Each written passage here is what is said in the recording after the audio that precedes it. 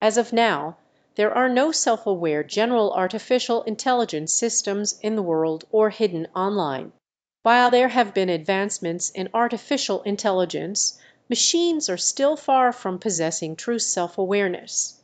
Today's artificial intelligence systems are designed for specific tasks and lack the ability to understand their own existence or have consciousness like humans do. The development of self aware artificial intelligence remains a topic of research and speculation.